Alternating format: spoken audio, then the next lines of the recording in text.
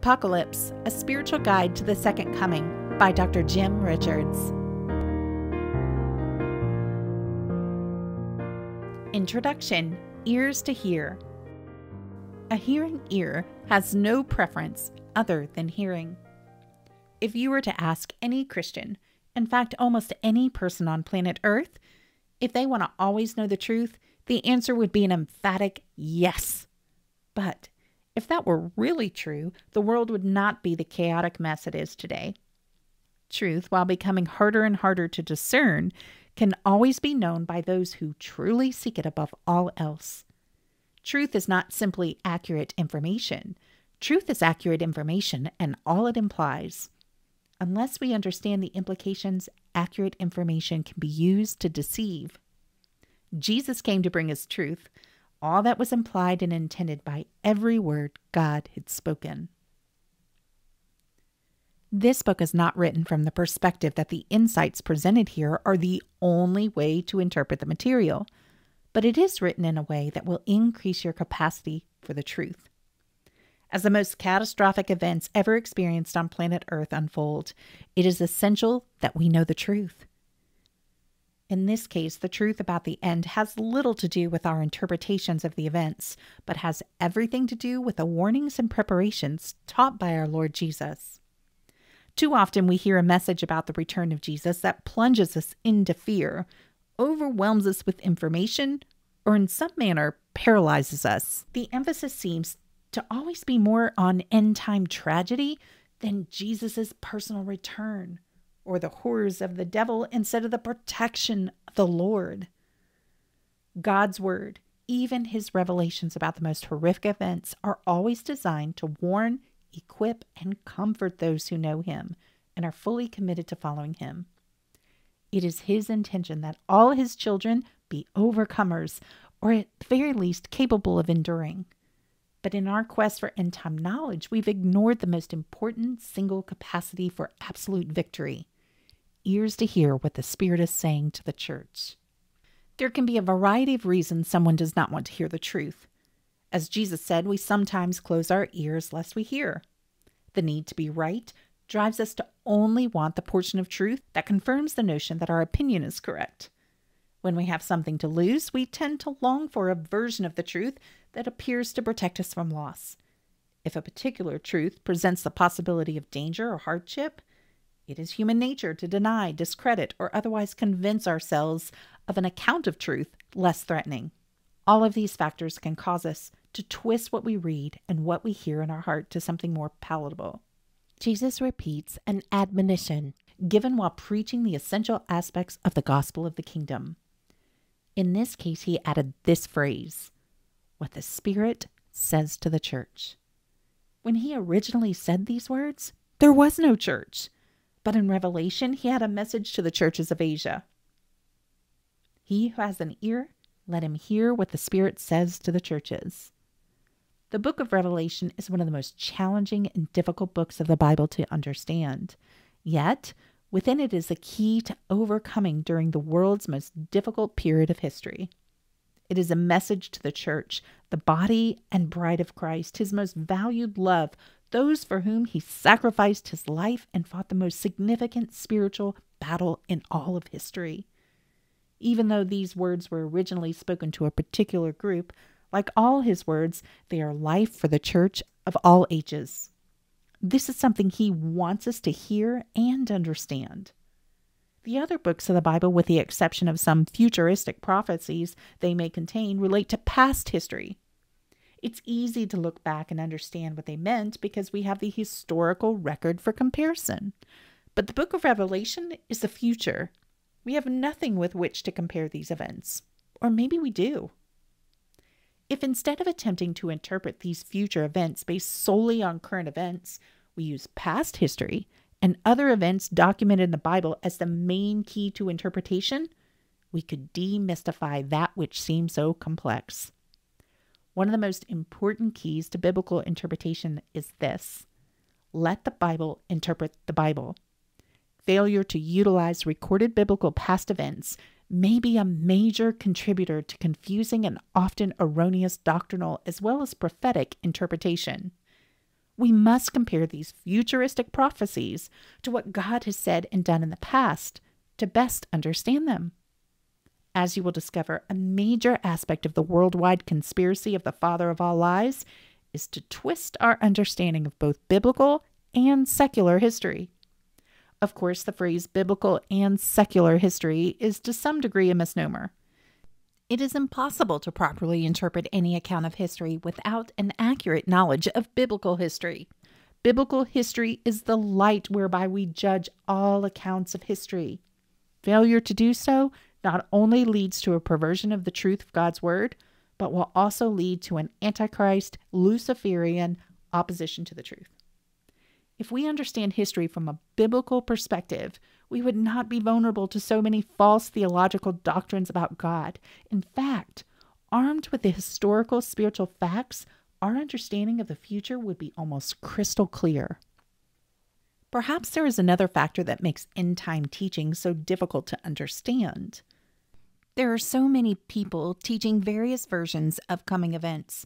We not only have information overload, we also have contradictory information overload.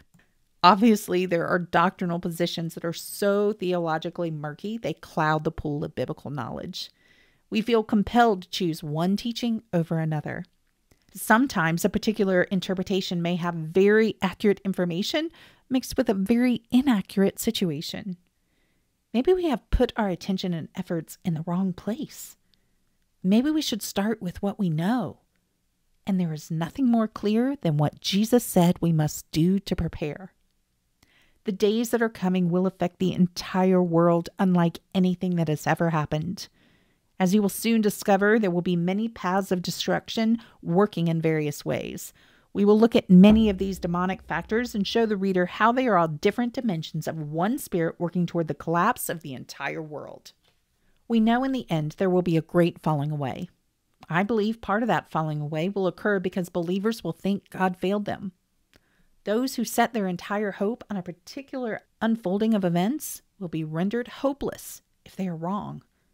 It is possible to be so committed to a predetermined position we will not recognize when or if the Spirit of the Lord is leading in a direction we did not expect. This book is written to move you to put your trust in God, to be able to hear His voice and be willing to follow no matter how things unfold. John 9 recounts the story of Jesus healing a blind man. In verse 39, while explaining that he came so the blind could see, the Pharisees ask, Are you saying we are blind? He then points out in verse 41 the reason they were blind was from their insistence that they could see. A key to hearing God with pinpoint accuracy is realizing we may not really see as clearly as we think. The one who has ears to hear will have a working knowledge of the Bible, would be aware of the different possibilities of how the events unfold, and will be open to hear the voice of God in their heart. As much as anything, it requires the surrender of all egotistical attachment to our opinions. In the final analysis, having ears to hear is not necessarily going to depend on how much Bible we know, although that can be an incredible antidote to deception. It will be about our ability to hear and know the voice of God in our hearts. After all, the Spirit of God is not nearly as interested in proving us right in our eschatology as He is in leading us into the realm of the kingdom where God's power, provision, and protection abound. Have you ever trusted the wrong person? Invested in a bad business deal, married the wrong person, or taken the wrong job? We all have. These are all times we do not have ears to hear. God always attempts to lead us, but for various reasons, we either fail to hear or refuse to follow. We have never made a bad decision from which God was not trying to protect us. Owning this truth is the starting place to opening the ears of our hearts to hear. I'm not as interested in changing your theology as I am in helping you develop a hearing ear. Spiritual Guide Learning to walk with God from your heart today is the only solution for facing the future with any real hope of overcoming. And remember, the promises in the book of Revelation are to those who overcome. Begin today to develop a life of meditation, reflection, and prayer. Make all of your decisions with a deliberate intention to yield to the Holy Spirit, no matter how He may lead. If you need tools for developing an awareness of Christ, visit www.heartphysics.com and get Essential Heart Physics. This is a 30 day life renewal program designed to help you create an abiding awareness of Christ in you, which is the first step toward hearing the voice of God in your heart. In the final analysis, having ears to hear, what the Spirit is saying exceeds the boundaries of an open mind, an understanding of eschatology, or anything else that depends on an intellectual understanding of the end times. There's so many factors that we do not and will not recognize until they happen. In the end, what really matters is will I hear the voice of God as He is leading me and my family into protection, safety, and provision when my logical mind is telling me all is failing? I want you to know, hear, trust, and follow the voice of God in your own heart, not just in the end, but now in life. In fact, I do not want you to live like we are living in the end times. I want you to discover this incredible paradox. Live like everything Jesus said about the end is true and happening soon, but at the same time, enjoy a life alive to the Spirit of God. Live with a certain awareness of eternity for yourself and others, yet be able to experience abundant life here and now. Above all, follow the Holy Spirit every day as if your life depends on it. If we do this, we will be as prepared as possible. Unlike any end times book I've ever read, at the end of most chapters, I provide you with some practical or spiritual steps you can take to prepare yourself for what you learned. This section is termed Spiritual Guide. I will present you with concepts that may be different than anything you have heard concerning the end and how to prepare for it. I'm not trying to get you to reject your current views as much as I want you to open your mind to the possibility of different scenarios and how they could unfold. This willingness to see other possibilities will open you to the voice of the Spirit as He leads you through the valley of the shadow of death unto green pastures, still waters strong protection, and supernatural provision. The most important thing you should know is this while the world is plunging into total darkness, the Bible provides an account of the individuals who stood against all the powers of darkness and won. This cloud of witnesses provides a model for how to win against all odds. The common denominator in all of these people of faith is that they trusted God and then followed the leading of His Spirit. As you read the introductions and conclusions to each section, your perspective will be brought back to one reality Greater is He that is in you than He that is in the world. You and God are a majority. We have this cloud of witnesses who stood and overcame. You are more than a conqueror because the true conqueror lives in you and you in Him. Introduction to Section 1 From Lucifer's Rebellion to the Flood. To understand the end, we must understand the beginning. Jesus said the time of the end would be just as it was in the days of Noah. The problem is, few believers have a true biblical picture of what really happened in the years preceding the flood. Yet, in order to recognize what will occur in the world just prior to the physical return of the Lord Jesus, we must decipher world events. Even more important is the fact that those who served God were delivered from darkness prior to the flood, and their deliverance occurred in many different ways. The one common denominator was they heard and followed the voice of God as He led. In other words, they had ears to hear. One of the most important rules of biblical interpretation is the law of first reference. The law of first reference says we must go to the first time something is mentioned in Scripture to get the clearest, most concise understanding of a truth. Although other factors could compound or augment our understanding of that truth, they can never change that truth. One of the darkest eras in history occurred when Christian era religionists departed from the teaching of the Old Testament as a basis for understanding many of the most fundamental aspects of God's plan and his nature. The Old Testament is full of types that were fulfilled in Jesus. To fulfill something means to bring it to its fullest expression and intention. For example, the feast, holy days, sacrifices, rituals, and ceremonies were types that had their true and full expression in the life, death, resurrection, and inheritance of the Lord Jesus Christ. The rejection of those types meant the religionists would create their own definitions and explanations of the cross independently of what God had revealed. The confusion comes when they use biblical terminology with secular definitions and explanations. The hearer thinks they are talking about the Bible when in fact they may be talking about an occult Luciferian doctrine but disguising it in biblical terminology. This has happened in every area of biblical doctrine, but for our purposes, we must consider how this has occurred in eschatology. Religionists have hijacked the truth of God's word and made it impotent and powerless, devising bizarre interpretations of Revelation and other end time prophecies that contradict things God has made clear in the Old Testament. The Bible foretold with uncanny accuracy the years the Messiah would be born and then crucified. This is why Herod's astrologers were so intently looking for the sign of the Messiah at that particular time. While we obviously do not know the exact time of his second coming, we can know all the signs with absolute clarity.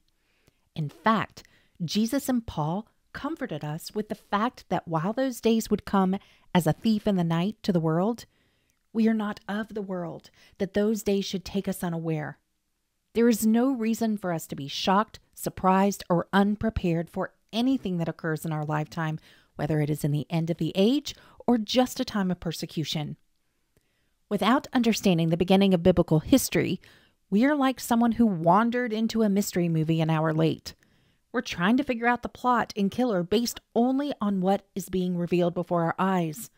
We are attempting to relate the storyline to other movies we have seen, but we get it all wrong because we missed the first half of the movie. The average Christian has very little knowledge or understanding of what happened in the beginning. We have no real clue how the world got where it is. And without that understanding, it is impossible to understand how Scripture says this present age will end up. In the absence of God's spiritual account of history, we rely on a secular, atheistic false science to explain what only can be understood from God's Word. Reading this section, you may experience a dramatic shift in your current understanding and perspective of biblical history. And with each subsequent section, you will get a clearer picture of world events from God's perspective, all of which will make understanding end time events far more simple and clear. The early sections of this book may seem very negative, but remember, these are events that have already happened, and they speak for themselves. There is no way to make a war on earth by fallen angels and a worldwide flood happy news but we will find the positive nuggets in some incredibly dark times in history. Most importantly, we will discover how to find and connect with God and experience His power, protection, and provision no matter what comes. We will learn these lessons from those who have fought and won.